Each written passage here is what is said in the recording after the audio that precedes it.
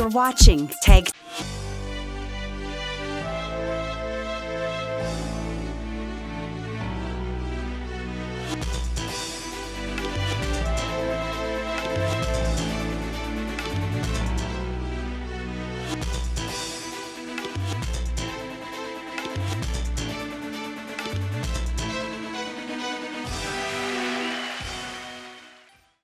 India is well known around the world owing to its historical background, diverse cultures, and interesting traditions. Its ancient scriptures and texts have been the way of life of its people for thousands of years. Today, the country is taking huge strides in the field of science and technology, paving a way towards a progressive India. So, friends, I'm your host Shreya Savijay, and today in our episode of My India, We'll take a look at some of the stories that very well showcase the unique culture and prosperity of our country stretching from Himalayas to Kanyakumari.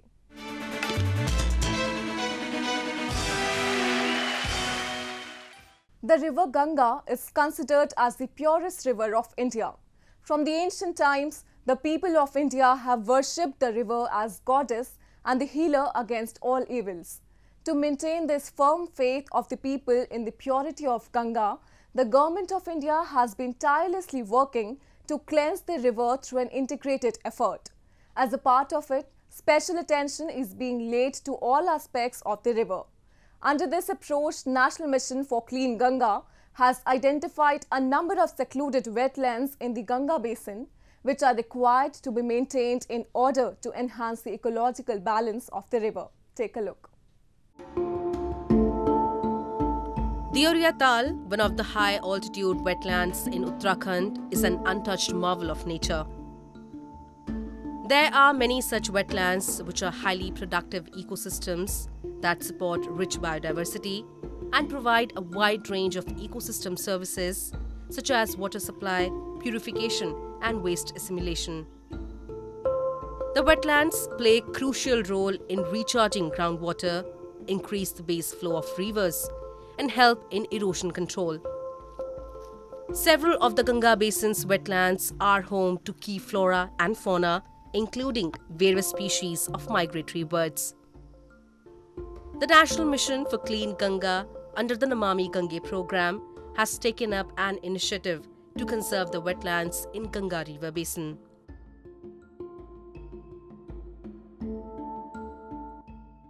The difference in the Namami Gange project is primarily to rejuvenate the river through base flow, increasing the base flow and aquifer recharge and conservation of wetlands. Because that forms part of uh, one of our Aviral Dhara, which is uh, to maintain the environment flow in the river. So, wetland play a very major important role in that. And the first step we are doing five main stem states Uttarakhand, Uttar Pradesh, Bihar, Jharkhand and West Bengal. Uh, we are talking with all the state government to set up their wetland authorities. Almost all the states have done it and now we are going for the brief document and wise use uh, documents for its rejuvenation. Some of these wetlands are threatened by reclamation and degradation through drainage, landfill, and overexploitation of their natural resources. It results in loss of biodiversity and disruption in ecosystem services provided by the wetlands. The National Mission for Clean Ganga, in collaboration with the state wetland authorities, will help identify and prepare integrated management plans to conserve these natural aquifers in the Ganga basin. If wetlands are in good health, if we don't encroach them, they also help in mitigating some pollution because they also try to treat in a natural way some minor pollution in the villages they can be treated through the wetland. They improve groundwater and when the rain comes they will get full.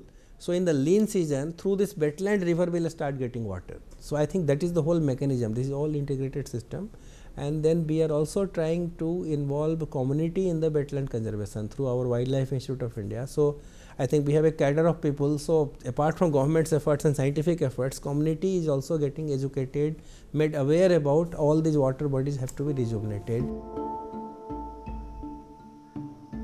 ecosystem based and community led models of rejuvenation of wetlands for enhancing aviralta and nirmalta of the river and water conservation in the Ganga basin are being integrated into the Namami Gange program. One must have heard several stories of friendship and selfless love between the people of different religious communities of India. It is a secular country where citizens belonging to any religious community are given equal chance to prosper and develop. So, today in our episode, we take you to meet three women from Bareilly in the northern state of Uttar Pradesh who although belong to different communities but are united through their common ideas and thoughts. Turning waste into their earning, these three ladies from Bareilly are making their communities and societies proud. Manisha, Pushpa, and Nazreen, the three friends who have acquired a diploma in fashion designing, took up waste material like teacups, straws, threads, and many other waste items from common households to make beautiful dolls and home decor products. अब से लगभग पाँच साल पहले मैंने fashion designing का diploma किया था, जिसमें मेरी फ्रेंडशिप मनीषा और नाजरीन से हुई थी। हम तीनों लोग एक साथ ही फ़ैशन डिज़ाइनिंग करते थे। हम लोगों ने जब डिज़ाइनिंग कंप्लीट करी, अपना डिप्लोमा कंप्लीट किया, उसके बाद में टीचिंग करी, जिसमें हम लड़कियों को सिलाई और फ़ैशन डिज़ाइनिंग और रूम डेकोरेशन, ये सारी बातें सिखाया करते थे। और उसके बाद में हम लोग काफ़ी टाइम तक एक साथ टीचिंग करते रहे। धीरे धीरे हम लोगों ने सोचा कि हम लोग को कुछ हटके यूनिक करना चाहिए All the three ladies shared a common interest and were ready to put in efforts to realize their dream, and soon they opened an online business to sell their creative handicraft items that are becoming popular all across the state and other parts of the country. जब हम कोई material लेते थे वो book बहुत costly पड़ता था हम लोग का क्या होता था उसमें कि एक ही प्रोजेक्ट हमारा तैयार हो पाता था इसके अंदर में हम लोगों ने क्या करा कि बेस्ट मटेरियल का यूज़ करना शुरू किया जो कि नॉर्मली सबके घर में मिल ही जाता है Although Nazreen Khan belongs to a Muslim family and Manisha and Pushpa belong to Hindu community, the three of them share a bond of sisterhood among themselves. हम लोग अलग अलग कास्ट के अलग अलग धर्म के होने के बावजूद भी एक दूसरे के साथ ऐसे रहते हैं, जैसे एज अ सिस्टर तीनों बहनें हैं, एक दूसरे को खिलाते भी हैं, एक दूसरे के साथ खाते भी हैं, एक दूसरे के त्यौहार भी अपने साथ मनाते हैं। कभी हम लोगों को लगा ही नहीं कि जो है हम जो है हिंदू हैं या मुसलमान हैं या कुछ है, कुछ नहीं मतलब साथ में रहते हैं, खाते पीते हैं काफ़ी टाइम हो गया पाँच छः साल से भी ज़्यादा हो गए। और साथ में मतलब एक दूसरे के फैमिली में भी आते जाते हैं और ना ही किसी फैमिली के मेंबर ने कभी ऑब्जेक्शन उठाया। और हमेशा हम लोग साथ रहें, चाहे कहीं पे भी रहें और जब भी हम लोगों का नाम लिया जाए तो तीनों का साथ लिया जाए। The real stories of friendship like these could be heard from every nook and corner of the country these stories make us realise that however different we are in our religious practice cultures and traditions we are united to work towards a common good for humanity and the nature. Now, a roundup of some of the major stories that made news recently.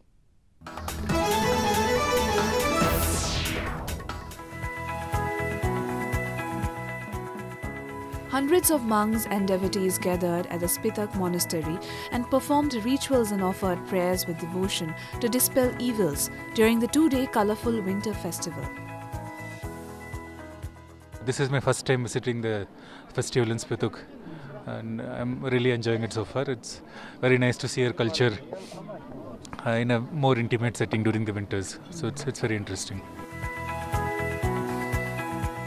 During the festival, monks wore colorful traditional attires and masks and performed the cham dance, a traditional Tibetan dance form depicting various idols worshipped by the community. Devotees spent hours standing in queues at the gates of Gongkhang, oldest part of the monastery, to seek blessings of the Mahakal, protector god idols whose face remains covered throughout the year except during the festival.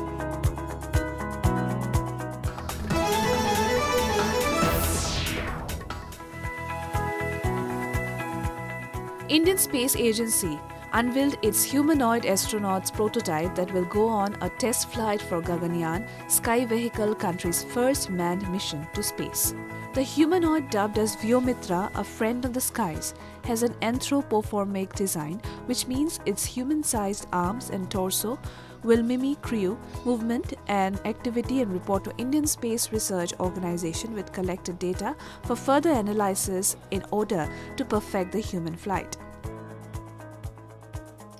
This is the first prototype of the half humanoid, which is uh, scheduled to fly in the first unmanned Gaganyaan flight. Uh, so this uh, primary objective is to mimic crew activity. So uh, you can see in this uh, poster, uh, it can Uh, it can attain uh, launch and orbital postures, and as well as re-entry postures. It can do switch panel operations, hmm. uh, like operating switches, and then some activity like uh, carbon dioxide canister replacement in cases of emergency. So we are simulating all these activities. Vyomitra will also be able to perform life support operation activities, monitor crew module parameters, and crew escape system test among other things. ISRO chief K. Sivan said four astronauts were selected for the manned flight and they would go for training in Russia later this month. He had earlier said ISRO will send a test flight by the end of 2020 as a preparation operation for Gaganyaan, which is expected to take off by December 2021.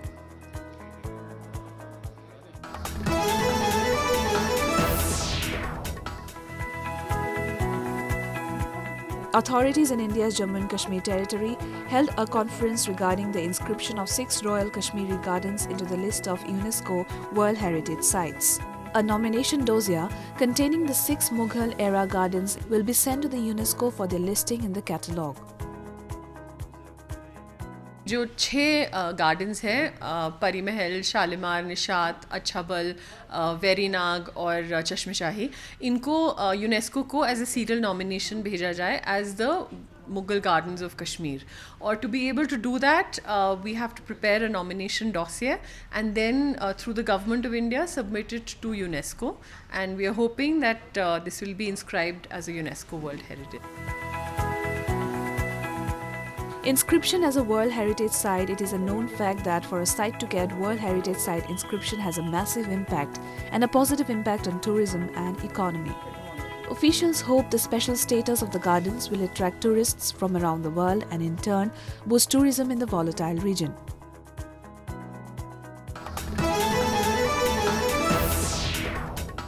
On to Japan, where along with its cutting edge technology, its culture, art, and history are also getting popularity all across the world.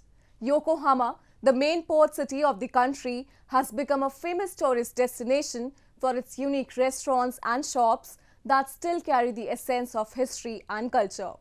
And as we talked about the technology of Japan, the Casio, a well-known name in electronic musical instrument makers, launched new Casiotone CT201 musical keyboard in California. We have a report. Yokohama has been the main port in Japan for centuries. It is now a very popular tourist attraction combining history, art and culture. The red brick warehouses, Akarenga, are among the landmarks of the city. Formerly, these were the customs inspection house for Yokohama Bay's shipping activity after being opened in 1859.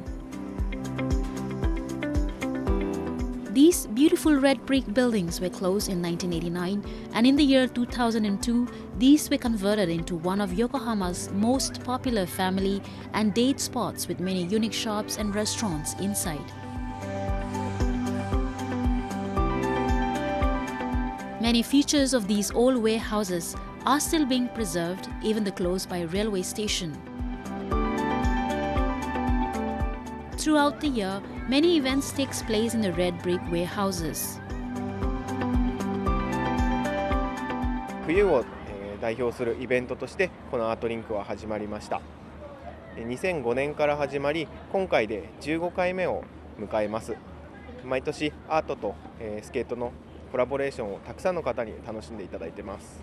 スイーツアイスリンク甘いもの大好きスケートリンクというテーマでタイのアーティストウィスット・ポンニミットさんに空間を演出していただきました。雑誌「ビッグイシュー日本版」という雑誌で10年以上にわたって連載されている漫画の登場人物マムアンちゃんというキャラクターとたくさんのカラフルなスイーツに囲まれてスケートを楽しむことができます。Red Brick Warehouses has played a major role in domestic and overseas development as a global logistics base since its foundation. And now it is a place for the creation of art and culture. Actually, my kids love skating, and we didn't have an opportunity anywhere else. So we knew Yokohama has uh, the ring for the ice skating, so they love it and they're very happy. The spacious ice skating rink is available for limited time only, so many foreign tourists try not to lose the opportunity to enjoy it. 横浜は綺麗だと思います。あのあ今日は初めてスケートに行き行きました。あのやり方はまだわからないけど、あままた、うん、今度戻りたいです。 The illumination in the evening adds more beauty to art rink scenery.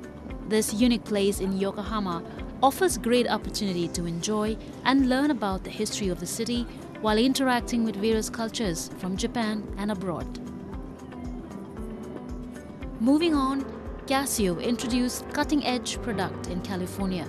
40 years ago, the first musical electronic keyboard, the Casiotone CT201, was introduced to the world with the goal of bringing enjoyment of music to more people.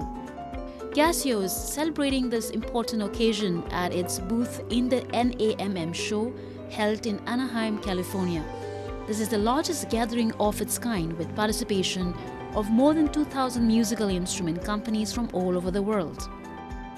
1980年、えー、過小計算機としては、えー、時計電卓に次ぐ、まあ、第3の品目として楽器が始まりました、えー、旧あの歌手を敏夫会長の方が、まあ、ご自分でも楽器を弾かれる方じゃなかったんですけれどもより多くの方々により身近に、え、いわゆる楽器演奏を楽しんでもらいたいという思いから得意のデジタル技術を使ってアナログ楽器複数のアナログ楽器を一つの、え、キーボードという形に、え、集約したモデルを CT201 という商品で発売を開始しました。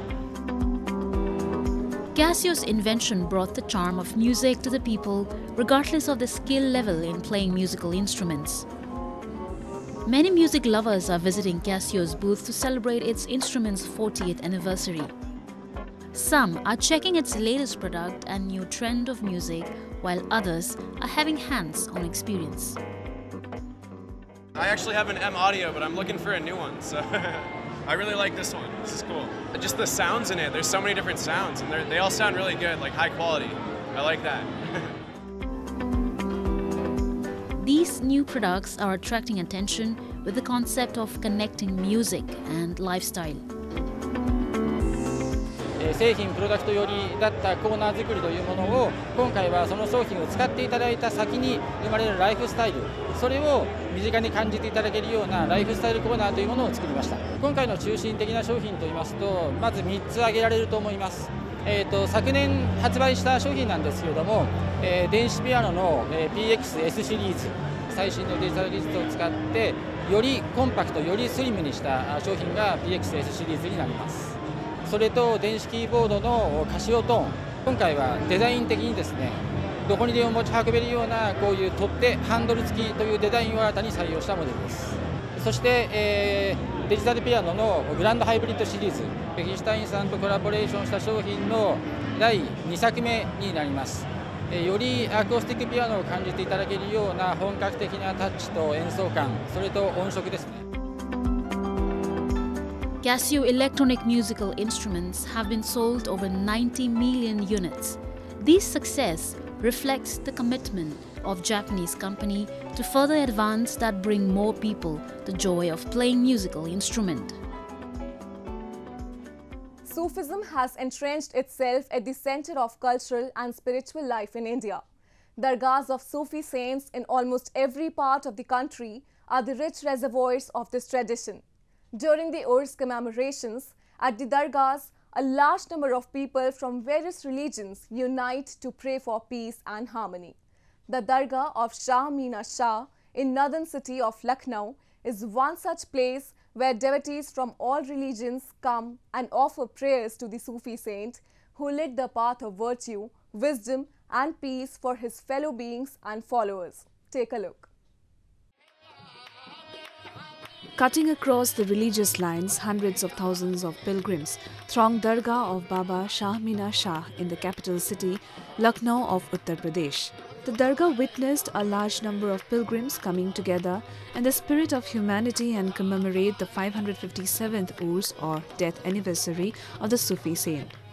During Urs, devotees including women and children offer prayers and holy chadars at the shrine while chanting verses from the Quran.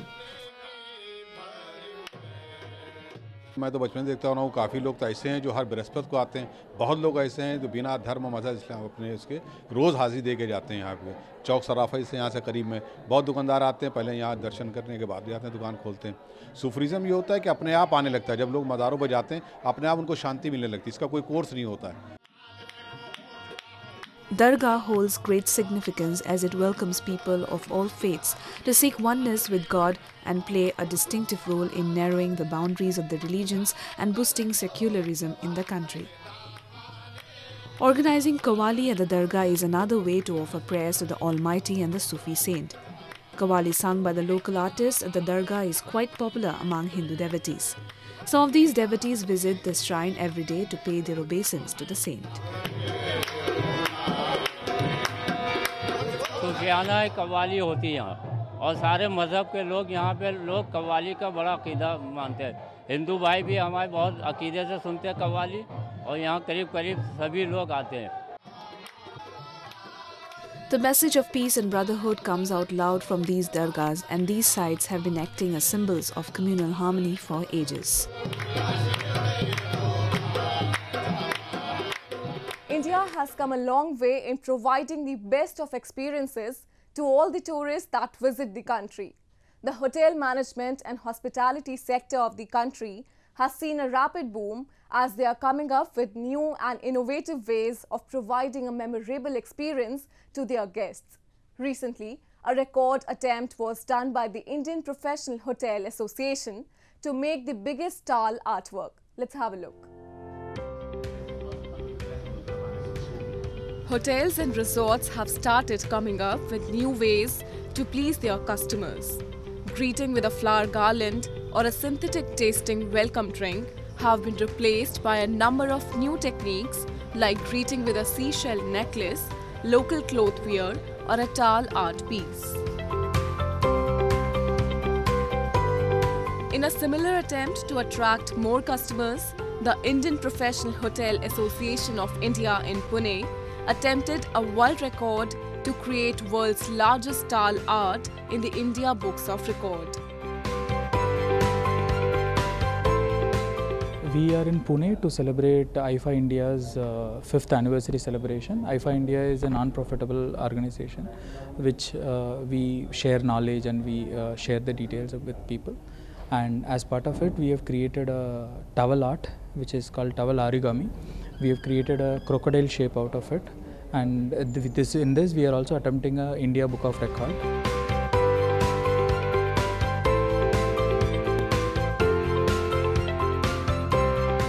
Towel art is a depiction of an animal by folding small towels. Similar to origami, this art is said to have been popularized by an international cruise line of Florida. Generally, elephants, snakes, rabbits, and swans are prepared by folding towels and are kept in the suites to surprise the guests. Slowly, the technique is gaining popularity round the world and is becoming a part of hotels' policies on hospitality.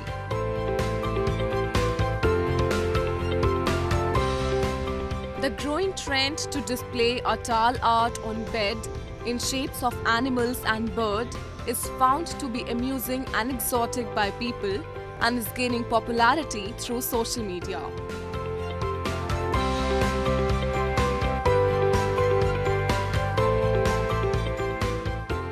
That's all we have for you this week. Your comments and suggestions are important to us. Do give us your feedback at myindia at anin.com. I'm your host Shreya Savajay and it's goodbye from the entire production team.